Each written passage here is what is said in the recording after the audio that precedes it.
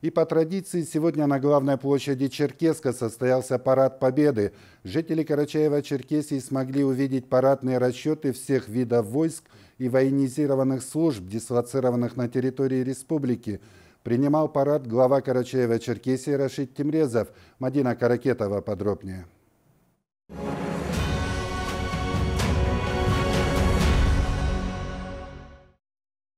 Парад намечен на 10 утра, но задолго до этого времени на главной площади республиканской столицы стали собираться нарядные горожане. При полном параде и сотрудница Федеральной службы судебных приставов Мадина Каркмазова. Для нее это не просто очередная праздничная дата в календаре, а очень важное событие. Трое прадедов Мадины защищали страну от фашистов. С гордостью приходим каждый год. Очень приятно и главное радует, что нам не приходится, молодежи не приходится сталкиваться с такими событиями.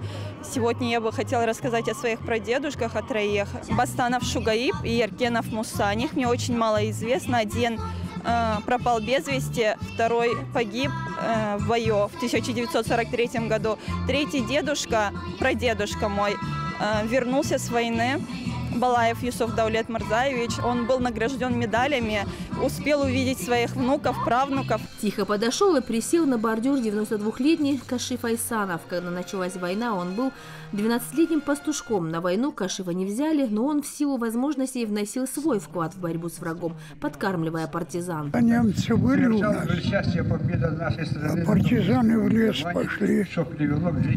А я мальчиком овец пас.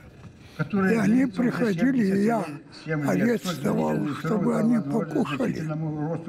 Вот это я занимался до прихода нашей кормилка партизан. А после, став уже взрослым, Кашиф Айсанов пошел работать в милицию, защищая сограждан уже от преступных посягательств. Среди зрителей нет ветеранов. С каждым годом живых свидетелей той войны все меньше, а те, кто жив, уже в преклонных годах и наблюдает за парадом с экрана телевизора. Но их потомки гордо чеканят шаг на площади возлагают цветы к братским захоронениям и могилам неизвестных солдат и помнят.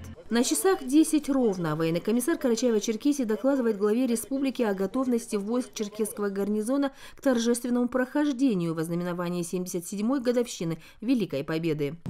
Здравствуйте, товарищи! Поздравляю вас с 77-й годовщиной победы в Великой Отечественной войне!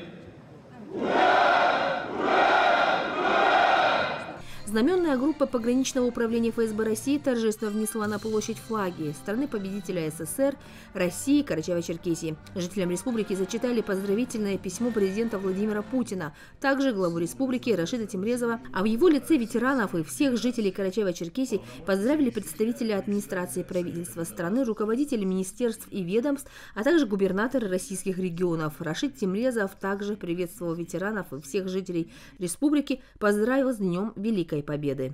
Каждый девятый день мая мы всегда встречаем с особым чувством гордости и трепетом, со скорбью об утратах и торжеством справедливости. В этом году мы отмечаем уже 77-ю годовщину победы над фашизмом, которая тогда тучей нависла над всем миром. Однако лишь Советский Союз, вытерпев самые мощные удары противника, развернув ход событий в противоположную сторону, освободив пол Европы, смог целых четыре года противостоять и одержать триумфальную победу в самой разрушительной и кровопролитной войне. Вспоминали жертв, приводили цифры, восхищались героизмом советских солдат. Память положивших жизнь на алтарь победы почтили минутой молчания.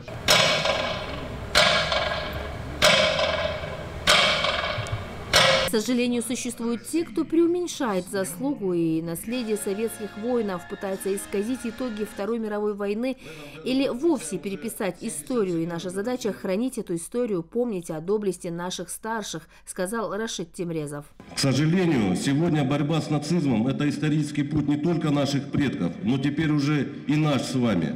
Проблема и угроза этой пагубной идеологии и политического движения не искоренена даже на протяжении стольких лет. Наши солдаты вновь защищают мир от очередной угрозы. Наши старшие боролись тогда, а сейчас, а сейчас наш черед отстаивать мир без нацизма, дарованный нам такой чудовищной ценой. И мы уже доказали, что готовы его защищать.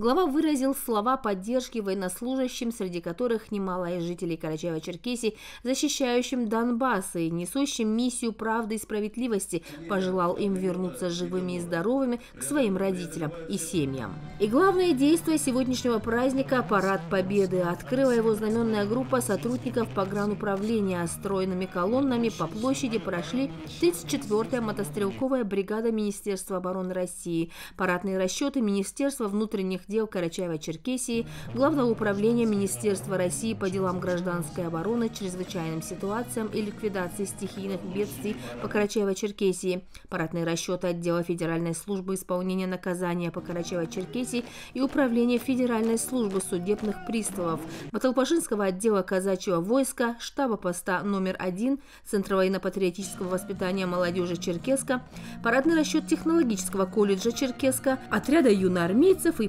поискового отряда «Подвиг республиканской столицы». Глава Карачаева-Черкесии Рашид Темрезов поблагодарил участников парада и лично пожал руку командующим парадными расчетами. А жители Черкеска и гости столицы, делегации министерств и ведомств образовательных учреждений стройной колонной не спеша двинулись к аллее героев и к вечному огню, чтобы возложить цветы и венки, отдать дань памяти и уважения тем, кто отдал самое дорогое, что у него было, свою жизнь ради мирного неба над будущими поколениями. Мадина Каракетова, Али Бастанов, Ислам Урумов, Вести Карачаева-Черкесия.